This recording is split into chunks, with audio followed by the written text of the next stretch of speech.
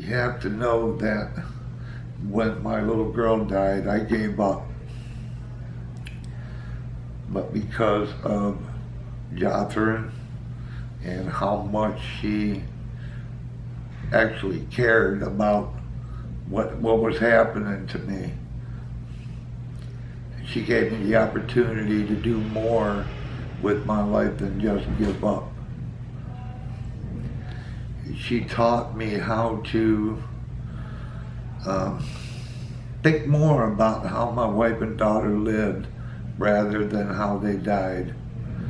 And she has no understanding of, of how much, how thankful I am for what she had done for me. And uh, for what she had done, I will, I'll always love her for that. She is just one example of the kind of people like yourselves with directions and what you do every day to help somebody. It's just phenomenal.